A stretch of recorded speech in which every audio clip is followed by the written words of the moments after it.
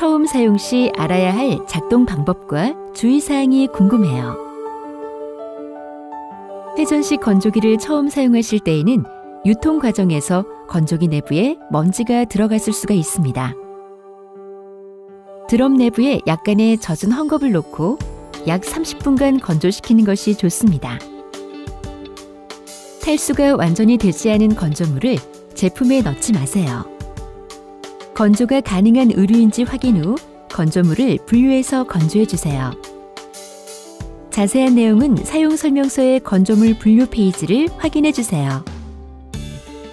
대형 세탁물을 넣는 과정에서 고무 패킹이 이탈되는 경우 제자리에 밀어 고정해 주세요. 건조기 문과 고무 패킹 사이에 세탁물이 끼이지 않도록 해주세요. 건조를 시작하기 전에 문이 제대로 닫혔는지 확인해 주세요.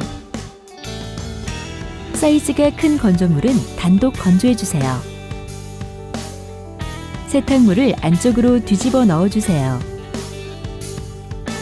이불 커버 및 베개 커버는 건조하기 전에 지퍼를 닫아주세요. 작은 건조물이 안으로 들어갈 수 있습니다. 가연성 물질이나 기름이 묻은 의류는 절대 건조하지 마십시오. 화재의 원인이 됩니다. 건조가 끝나면 건조물을 바로 꺼내주세요.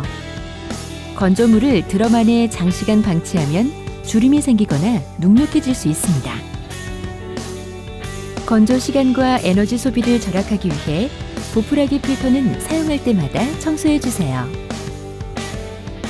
건조가 끝난 직후에는 드럼 내부의 온도가 매우 높습니다. 화상에 주의해 주세요. 물통이 있는 제품일 경우 사용 후 물통을 비워주세요.